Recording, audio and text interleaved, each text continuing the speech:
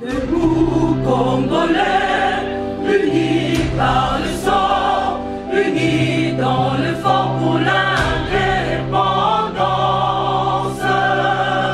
Unis aux hommes, zombies noirs, Taïmada, Chino, De Paris à Bruxelles, maintenant à Kinshasa, N'oublie jamais ça. vous garantit la fraîcheur, la sensation. Les parfums du corps.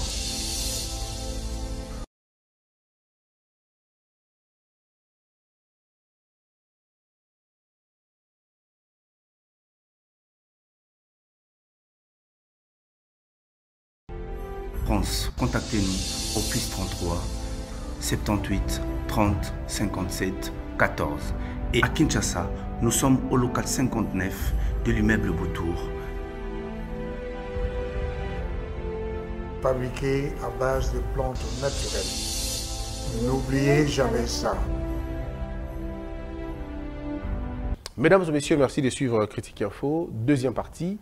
Je voudrais euh, encore une fois continuer dans la logique qui a actualité, mais permettez-moi avant de continuer cette émission de souhaiter un joyeux anniversaire à la première dame de la République démocratique du Congo, Madame euh, Denise Nyakero. Ici, je trouve l'occasion de vous souhaiter un joyeux et pétillant anniversaire que votre vie soit remplie de lumière, de dons de Dieu et de protection. Trouvez ici non seulement ma gratitude, mais surtout mes, mes civilités et mon respect le plus profond. Que Dieu vous bénisse et que Dieu vous garde pour votre mari, pour vos enfants et pour tout le pays. Donc, euh, Mbotama Elamu, comme on dit, Mbotama Elamu euh, Nayo, Mbotama Elamu na Maman Mokonzi ya Mboka, première dame ya Mboka na biso, Maman Denise, mbotama malamu na ye e mbotama malamu na uh, bato tu bakovivre pembeni na ye pembe pembe na moment oyo.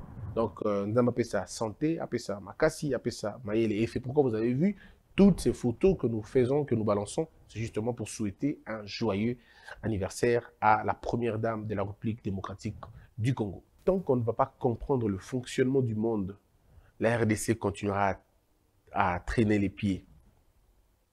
Moi, je suis étonné aujourd'hui que l'on puisse tourner les dos ou que l'on puisse mettre en suspense la question de Jean Guaido ou Juan euh, euh, Guaido, c'est lui qui était considéré comme le président.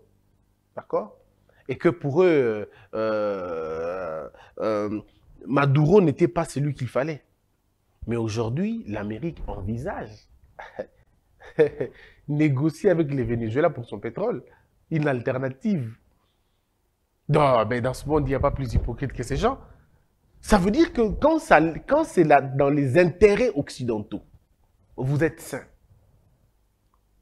Maduro, aujourd'hui, va être considéré comme quelqu'un qui peut apporter des solutions aux problèmes. Si vous vous réfléchissez un peu, juste un peu, vous comprendrez que le plus important, c'est n'est pas de se fier na logique américaine ou logique occidentale. Moi, j'invite les Congolais à une autre réflexion. Et, et, France Fano nous, appelle à une autre réflexion. Dans son livre que je suis en train de lire ces derniers temps, il est très important. Je vais vous lire quelques paragraphes. Et j'estime que vous allez beaucoup aimer parce que c'est un livre que vous devez avoir. Moi, je crois que ce livre, tout citoyen devrait en avoir. Pour avoir ne serait-ce qu'une idée de ce qui se passe. Ici, dans sa conclusion, parce que je suis arrivé à la conclusion de ce bouquin, il dit, non, il y a des gens qui ont, qui ont assez réfléchi. Dans la conclusion, il dit, je vais vous lire un paragraphe, il dit, allons camarades, il vaut mieux décider dès maintenant de changer de bord. La grande nuit dans laquelle nous fûmes plongés, il faut nous la secouer et en sortir.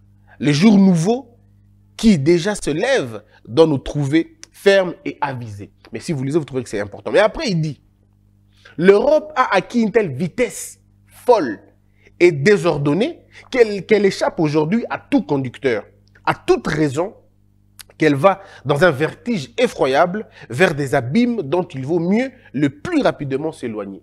Mais quand vous allez un peu plus loin il essaye de parler de quelque chose de fondamental que moi je voudrais en parler avec vous. Il dit, il y a deux siècles, et vous voyez de qui il parle, il y a deux siècles, une ancienne colonisée, une ancienne colonie, européenne s'est mise en tête de rattraper l'Europe. Vous savez de qui on parle Vous comprenez? Très bien. Elle y a tellement réussi que les États-Unis d'Amérique, parce que c'est de ça, qu'il s'agit, les États-Unis d'Amérique sont devenus un monstre où les tares, les maladies, l'inhumanité de l'Europe ont atteint des dimensions épouvantables. Et ils nous appellent en disant, camarades, n'avons-nous pas d'autre autre chose à faire que de créer une troisième Europe? L'Occident a voulu être une aventure de l'esprit. Et c'est au nom de l'esprit, de l'esprit européen, euh, sentant que l'Europe a justifié ses crimes et, euh, a légitimisé l'esclavage dans lequel elle maintenait les 4 cinquièmes de l'humanité. Si vous lisez, il est tellement important que c'est très bien. Donc c'est pour dire quoi exactement? Je me dis toujours, et je crois que les les intellectuels de mon pays, les avertis comprennent. Est-ce que nous avons véritablement besoin de faire comme l'Europe? Moi, c'est ma question. Est-ce que nous avons véritablement besoin de faire comme les États-Unis? Nous avons l'avantage qu'on appelle l'avantage du dernier, ou l'avantage des derniers. L'avantage des derniers, c'est quoi? Les derniers ont la capacité de lire les erreurs des, prédécesseurs. Nous sommes dans l'avantage des successeurs. Nous avons vu les, euh, les erreurs, les imperfections de nos prédécesseurs. Maintenant, allons-y, corrigeons. Corrigeons. La soif de l'Europe de dominer l'humanité a conduit l'Europe à la perversion. Aujourd'hui même à la dérive. La, la, la, volonté de vouloir conquérir le monde et donner la politique, définir la politique mondiale comme la politique, une extension de la politique américaine, conduit l'Amérique aux enfers. Bien évidemment, vous n'allez pas le voir aujourd'hui. Peut-être nous, on sera déjà morts. Mais la chute de l'Amérique a déjà été, avait déjà sonné il y a bien longtemps. Mais entre la cessation d'un travail et la cessation d'un contrat, il y a un temps qui est là. Vous pouvez terminer le contrat, mais votre service peut continuer encore jusqu'à la fin. Vous pouvez donc dire, bon, maintenant c'est fini, nous nous arrêtons là. Oui, mais Mobutu est parti. En réalité, Mobutu, son règne était fini en 90. Mais il a eu une transition de 7 ans. Il y a beaucoup de puissances mondiales aujourd'hui euh, qui, ont déjà touché la, qui ont déjà touché la fin. Mais ils sont encore dans une étape transitoire qui peut prendre un siècle aussi. Qui peut prendre 400 ans, 300, ou même qui peut prendre plus de temps que possible. Mais c'est déjà la fin. Maintenant, je vois les Congolais et les Africains vouloir créer à tout, à, vraiment à tout prix une seconde Europe, ou une troisième Europe, ou une autre, euh, je sais pas moi, une autre Amérique. Mais ce n'est pas possible. J'ai même entendu les gens parler des États-Unis d'Afrique. C'est bien. Mais nous ne devons pas tomber dans l'erreur au Amérique à Salaki. On ne peut pas tomber dans l'erreur au Europe à Salaki. Nous devons donc inventer, imaginer un nouveau monde. Une nouvelle façon de faire les choses, où l'homme sera effectivement au centre des préoccupations. Pas où la machine sera au centre des préoccupations. Pas où la technologie sera au centre de préoccupation. Pas où, euh, je veux dire, euh, les inventions seront au centre. Non, mais là où l'homme sera au centre des préoccupations. C'est à nous de définir ce que nous voulons. Mais regardez, on est tellement des imitateurs, on est tellement de copistes que nous perdons notre véritable originalité. Regardez la démocratie, par exemple, telle qu'elle est appliquée en Afrique.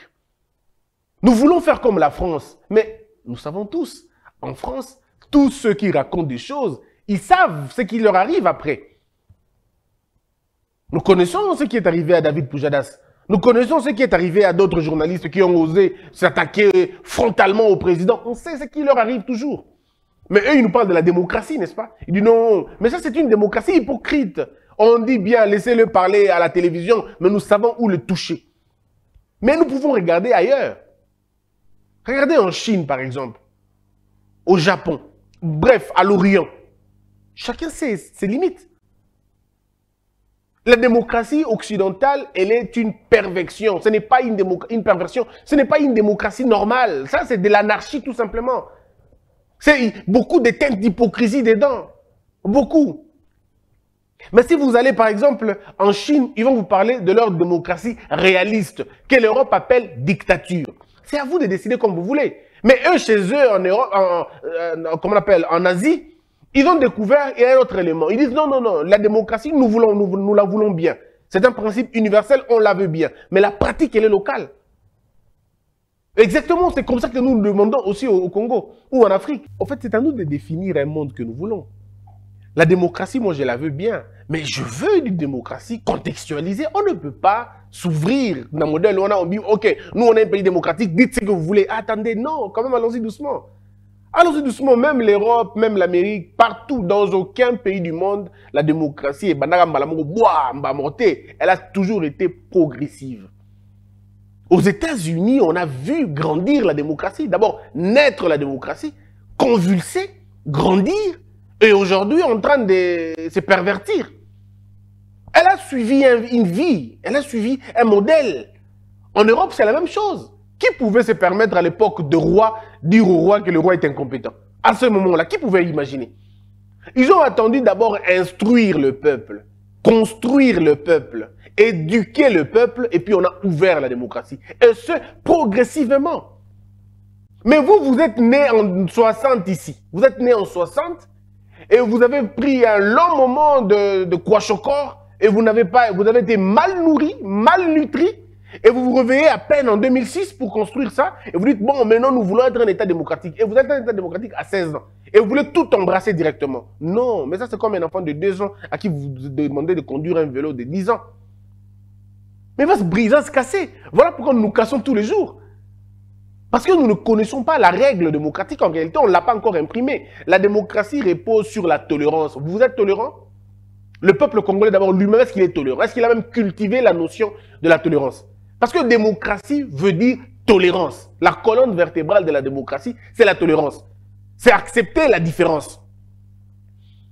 Maintenant, vous, vous transpirez, en vous, il transpire un certain, euh, une certaine dimension d'ordre.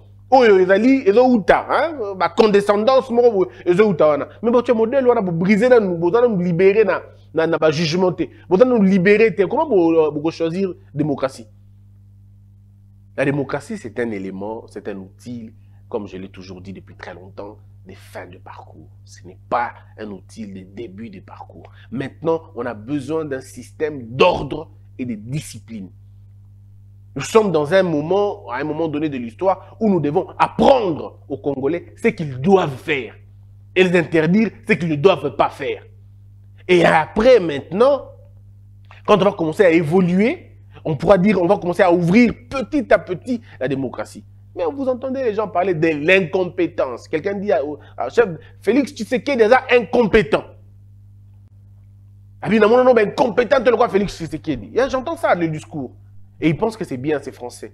Mais est-ce que vous savez la définition du, mot incompétence? Incompétence veut dire ignare.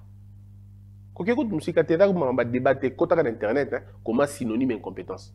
Ou somme mon bino kolobaka baincompétence wana mpo boloba na bafrançais botyaka na balangue na bino traditionnel pour comprendre poids nango ntango lobi l'incompétence c'est en français que tu as dit. Ça atténue un peu. Mais ça dans les lingala dans ta langue maternelle. Tu comprendras que c'est des choses qui vont à l'encontre des valeurs traditionnelles que tu ne peux même pas employer. Mais tu peux dire que président aokamba mboka mabe tu peux le dire. Président na biso okamba mboka malamu te tu peux le dire. Mais tu ne peux pas dire président ali nyama parce qu'incompétence, mes frères, incompétence, hein? synonyme d'incompétent. Galache, ignare, ignorant, impropre, impuissant, inapte, incapable, inexpérimenté. synonyme Tu peux choisir un élément que tu veux. Au sein de l'oyolingi, ndenge mo pe bato bangi bakanga o bakongo pe na définition bango basepeli bazwa. Yoko batenga na baki na cadre ya cadre ya ya za incapable. OK ya za incapable. OK biso to kanza biso to na cadre ya za ignare en fait comment non moi je, crois je suis convaincu que au nom de la démocratie on ne peut pas dépasser ma limite Moussous nous devons encadrer notre démocratie. Il faut l'encadrer. Il faut la nourrir.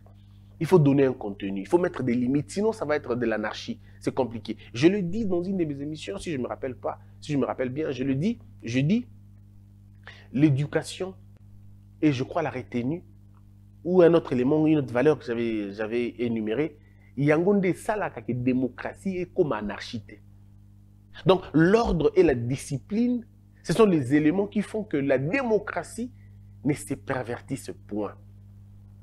Au cours de la TV, tu Ali, Ali, fausse commune. Tu peux pas dire ça, même si on est en démocratie. La démocratie ne prend pas en charge les insultes. J'ai vu les gens insulter Moïse Katumbi, j'ai vu les gens insulter euh, Martin Fayul, même Mozito, même Matata Mpogno, même Kabila. J'ai vu les gens les insulter. Je dis, mais non, mais, et puis ils disent, non, on est en démocratie. Ça, ce n'est pas la démocratie. La démocratie exclut, insulte, mépris. C'est ça, en fait. Et la démocratie, c'est comme ça. Mais, Bino Boulingi, distraction moins mingi, bon. Je comprends que c'est compliqué. On va prendre euh, l'actualité. Tshisekedi s'engage à élever les femmes à des hautes responsabilités. Moi, je me dis toujours que cette histoire d'élever les femmes, parce que c'était le 8 mars, hier, le monde entier a parlé de la femme et tout. Mais je voudrais qu'on se dise, l'on comprend yango. Balobi 8 mars, ezali fête te. Ezali journée, il a méditer sur la lutte. une journée la lutte pour le droit ya basi. la lutte, la journée à lutte, la journée à victoire. Ce n'est pas la journée internationale d'épargne. Et la journée internationale, il y a femme. Ce n'est pas la journée, la journée internationale de la femme. C'est la journée internationale, il y a lutte pour l'égalité et pour le droit des femmes. Mais ce que je ne comprends pas, dans mon lobby, dans ma statut, marié, bah basi na ba statut namoni bajeune batie bamama na bango na bastatut sikoyo motuna bo bango lokwa basi to bokocelebre bitumba na bango babunda to bitumba na bango oyo bazokonde kobunda ti lelo. Omoni côté festif okongola aza nango na on aime fêter même là où on n'a pas besoin de fêter. Et c'est cette journée malheureusement baboîte na babar na bahôtel etondaka et bah, centre de réflexion, et c'est Vidac. Et c'est ce qui est bizarre. On dit que c'est une journée de méditation. On n'a pas dit une journée de consommation. C'est une journée où l'on doit méditer, imaginer les stratégies. Combien de femmes sont encore en train de, de, croupir dans la misère des mariages? Combien de femmes sont encore en train de croupir dans la misère de l'ignorance? Combien de femmes sont encore prisonnières chez elles? Combien de femmes, peu de parents ont dit hier à leur fille, oh, comme mon ami LG m'a dit, peu de parents ont dit hier à leur fille que là, il faut bundo comme un PDG, il faut bundo comme un DG, il faut bundo comme un pilote, il faut bundo comme un moutoumouné. Faut... Peu de parents ont dit ça, ont rappelé ça à leur fille. Beaucoup de parents sont préoccupés pendant l'obli, la journée, bah, paiement. Et on a fait ça comme des habitudes comme ça. Non, c'est notre journée. Mais ce n'est pas votre journée pour fêter, pour danser, pour bouger. Non, c'est votre journée pour vous réapproprier votre combat. Et quelqu'un m'a dit, Christian, pourquoi tu n'as pas souhaité ça? Bonne fête aux femmes. Je ne le ferai pas, il n'y a pas de fête. C'est une lutte, il n'y a pas de fête. Le pays est quasiment rempli de femmes. Mais nos universités, au, je veux dire, au degré final, il y a moins de femmes. Basi bazo combat côté entonnoir, ba côté belé, mais na. Parce qu'au cours du parcours, il y a beaucoup de, beaucoup de choses qui, interviennent. Beaucoup d'aspects, beaucoup de facteurs qui viennent décourager la jeune femme dans sa lignée. Il y a le premier piège, c'est le mariage. Le deuxième piège, c'est l'église. Troisième piège, c'est l'amour. Quatrième piège, c'est la maternité. Et plein de trucs. Et il y a encore un autre élément bizarre que je ne comprends pas, que bango dans le secteur c'est des secteurs qu'on a considérés comme des secteurs féminins de la société. J'étais en Espagne, j'étais conduit par une dame à chauffeur, un taxi. C'est une femme. Moi si alors, un taxi. c'est rare au modèle. Les femmes se choisissent des misala où il y a ornement. Mais dans le quado, tu ne le trouves pas beaucoup. Et c'est pas possible. Et on a quand même, quand même connu une évolution. À un moment donné, à l'ISTA, il n'y avait que des garçons. Aujourd'hui, à l'ISTA, on trouve encore des filles. C'est encourageant. À la Polytechnique, il y avait plusieurs euh, garçons. Maintenant, on trouve encore des femmes. C'est aussi bien. Nous avons besoin d'avoir des ingénieurs femmes, des maçons femmes, des architectes femmes. Il y en a déjà d'ailleurs. Mais maintenant, en grand nombre. Des militaires femmes, il y en a. Nous, on a besoin d'avoir des généraux. Mais comme c'est des femmes, des générales, on en a besoin d'avoir. Nous avons besoin d'avoir des colonels. Bah, bah, bah, Qui a dit que le ministère de la Défense, les femmes ne devraient pas les toucher? On a besoin des femmes ministres de la Défense. Tout ça a besoin peut-être d'un ministre intérieur. Bah, c'est moi aussi pas. Pourquoi les femmes, il faut que y ait genre et famille? Pourquoi il faut que y ait un modèle? Et on a même des, des hommes qui sont spéciaux, ministère genre et famille, a au- au commissaire moi aussi. Non. Nous pouvons avoir aussi une première ministre femme. Pourquoi n'imaginons pas ça comme ça? C'est à peine à l'époque de Kabila, oui, on doit reconnaître qu'il y avait aussi une ministre femme et la justice. Mais on peut aller plus loin que ça. C'est à peine qu'on a des ministres comme ça. Mobutu avait déjà peut-être cet élan-là, mais le poids des hommes et tout ça, tout c'était compliqué. Mais maintenant, on peut s'ouvrir et ouvrir convenablement le jeu au lieu de nous rester dans des histoires, des histoires, des histoires. Moi, je dis toujours à la jeune femme, si tu veux qu'on te respecte, eh bien, travaille. Étudie, sois la meilleure. Ne tombe pas dans les histoires de oh, parité, parité. Sois toi. Vis ta vie comme tu l'entends. Fais exactement ce que tu penses faire. C'est aussi ça la liberté. La parité risque d'être un deuxième piège. Où on va te placer dans une lutte que tu ne sais même pas pourquoi tu es en train de lutter. Ce que toi tu vas faire, c'est que étudie convenablement. Postule là où les hommes et les femmes postulent. Et gagne le boulot. Bats-toi. Fais plus que ce que tu peux, le- tu peux le faire. Et nous, on est, on est assez avantagés par rapport aux États-Unis. Nous, on a un avantage important par rapport à l'Amérique. À l'Amérique. À l'Amérique, il y avait un, moment donné où les femmes avaient un salaire des femmes.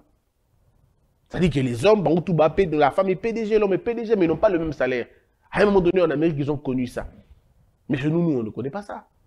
Nous, quand, chez nous, quand tu es DG, tu es DG, femme ou homme, vous avez le même, le même privilège. Et ça, nous, on est, on est même en avance. Dans le pays belé, il y a, a- a Europe, même il y a, a- y a Amérique. On est, on est quand même assez, assez élevé. Donc, la discrimination que j'entends parler là, ici au Congo, on n'a pas de discrimination. En fait, pas aussi accentuée comme on le voit ailleurs.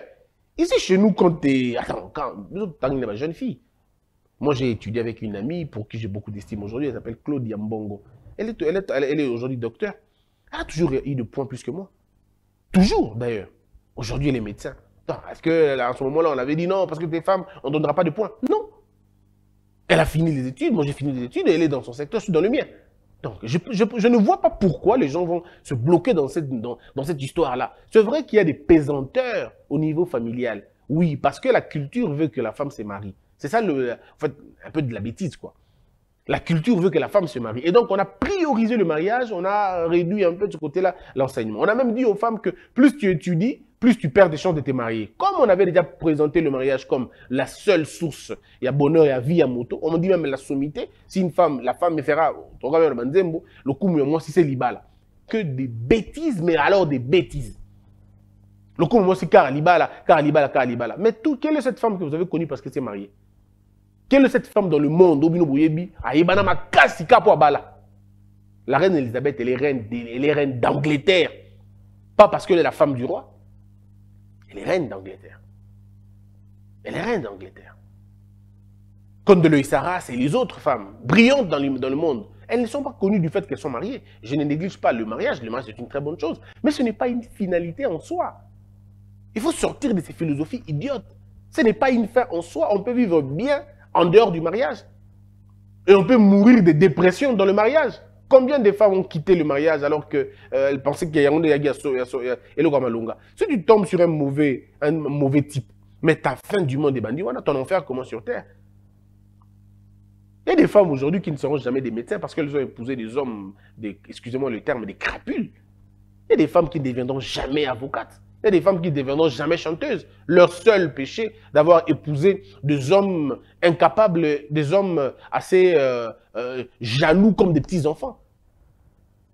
Parce qu'il y a un homme qui t'interdit de travailler parce qu'il est jaloux, il ne veut pas te voir avec les femmes. C'est quel type d'homme? Il est insécurisé lui-même, il vit dans une insécurité totale, il ne croit pas en lui, il ne pourra pas croire en toi. Voilà pourquoi je dis à mes jeunes sœurs, un homme qui ne croit pas en lui, il ne faut pas l'épouser. Il ne faut pas encore l'épouser, il doit d'abord commencer à croire en lui avant de croire en toi. Il ne peut pas te dire que je crois en toi s'il ne croit pas en lui. Lui-même vit dans une insécurité ambiante.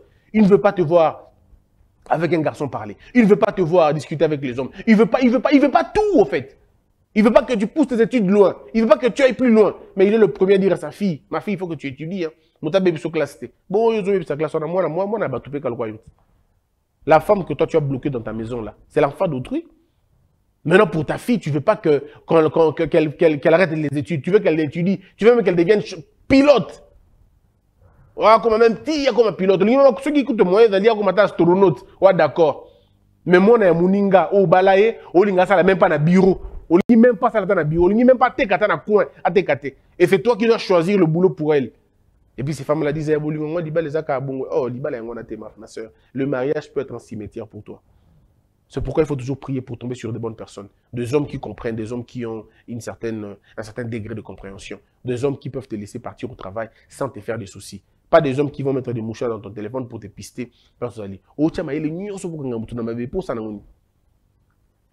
Et ça, il faut enseigner ça aux hommes qui comprennent, qui ne comprennent pas ces choses-là. Donc, mesdames, mes sœurs, mesdames, mesdames, euh, je vous demande, je vous prie de vous battre non pas pour la parité, mais pour être vous, pour être ce que vous êtes, pour vivre votre vie dans toute liberté, parce que personne ne vous interdit. Et bénissez Dieu parce que vous êtes né au Congo, où on n'a pas, l'État ne prend pas en compte ces choses-là.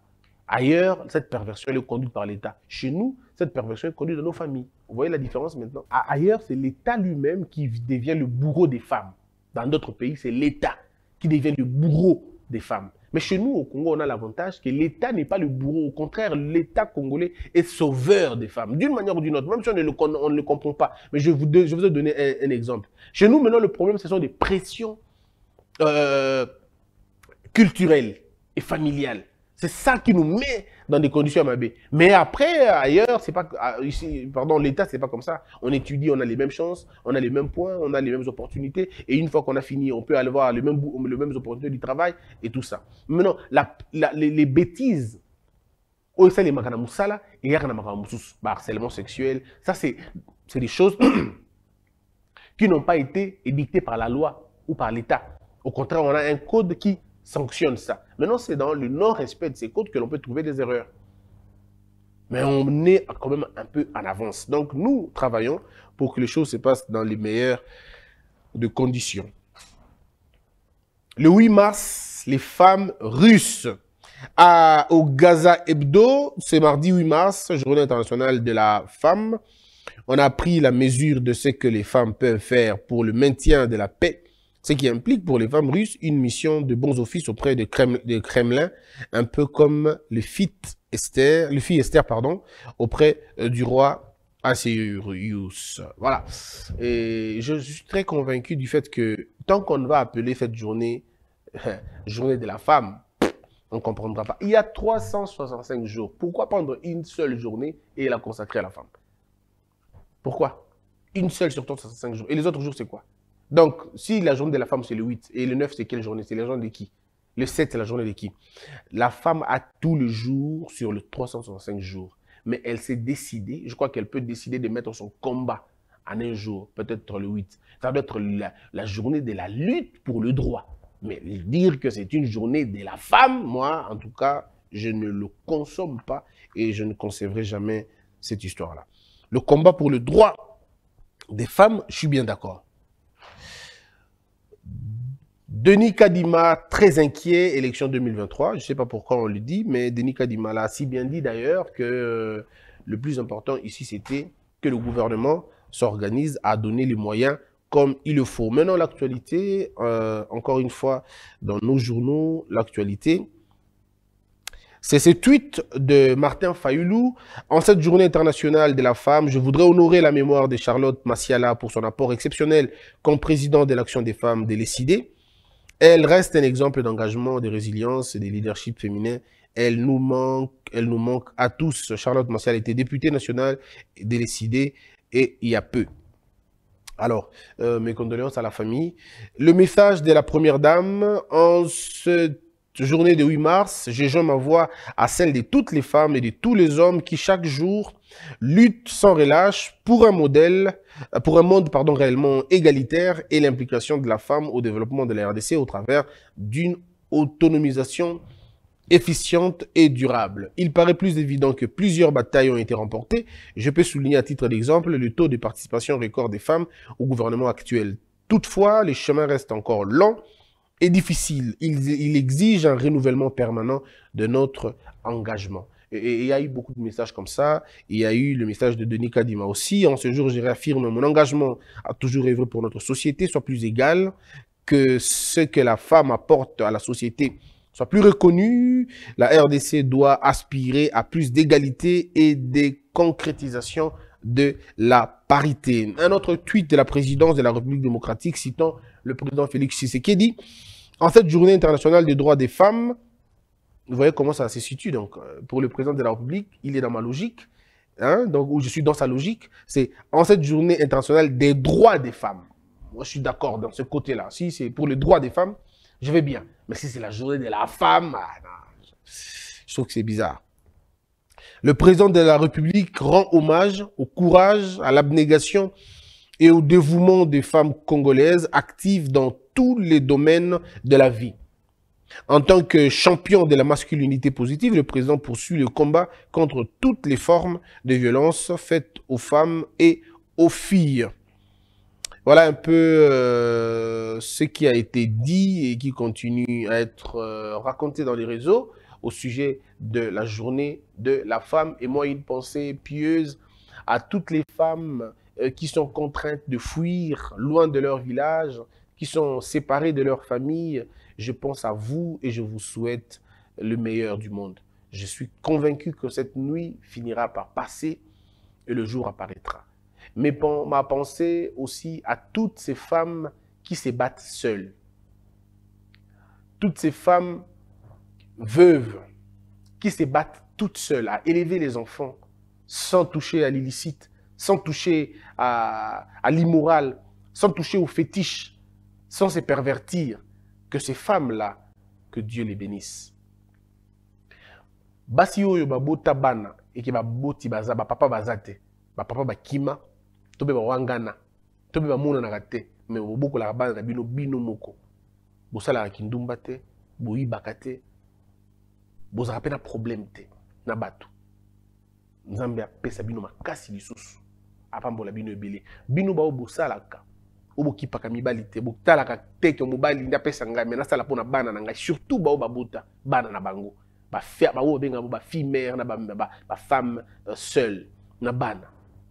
Je vous garantis que boza précieuse ya kosakana te. Nzambe abatela bino apesa bino makasi bokontinue kobatela bana wana. Mais ntango bozokolisa bana na bino wana bokolisa bango na koyina baboti na bango te oyo nasengi bino eza kaka yango wana. Kokolisa mwana papa na ye papa na ye na miso na te oboma ye moko mwana mobali wana. Ozoboma ye sans koyeba. Ozoboma mwana mwasi wana sans koyeba. Soki yo oza mama papa papa mwana na yo mwasi akima atindaka mbongo te. Kofinga papa na ye na miso na te ozoboma mibali na ye nyonso. Ozoboma libala na ye ya mwana wa mwasi wana ntango akobala mobali akozala na sense moko te mpo na na bala. Alors koimplante te. Koimplante na kati na ye koyina te. Koimplante na kati na impolitesse te. Au contraire teya ye pour que lobi ase retrouve dans même situation wana te mama kope kotransmettre mwana okoyina papa na ye te. Quel que soit les cas garçon to fille kokotisa ye koyina te. Teya ye alinga na c'est difficile mais c'est comme ça donc toutes ces femmes là vous êtes dans mon cœur que la peur quitte nos esprits et que Dieu bénisse les réalités. De Paris à Bruxelles, maintenant à Kinshasa. N'oublie jamais ça. Vous garantit la fraîcheur, la sensation, les parfums du corps.